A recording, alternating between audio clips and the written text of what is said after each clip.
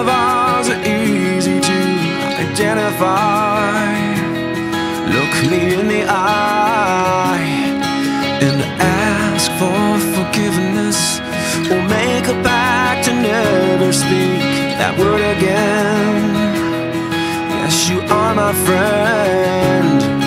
We all have something that digs at us. At least we dig each other.